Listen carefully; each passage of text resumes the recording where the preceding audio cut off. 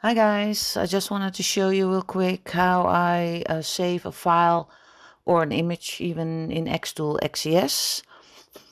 I already got my image ready.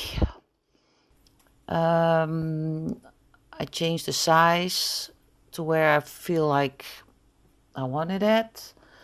Um, doesn't really matter in this case since it's just an example.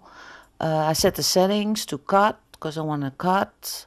Uh, power 100, speed is 3 and I put it on prisms. I always auto measure but in this case I'm not doing it because this is just an example.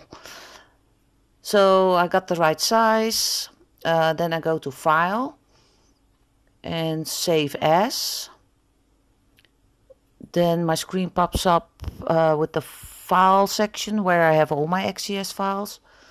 Um, I put the name in that I want for this uh, picture, this case Volkswagen Beach or whatever, and then click Save.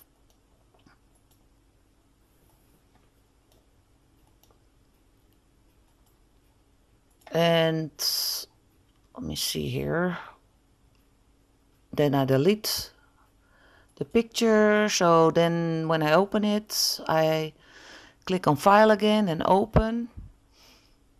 And as you can see in all these files I've got the Volkswagen and click on that. And there it is. It opens in the same size.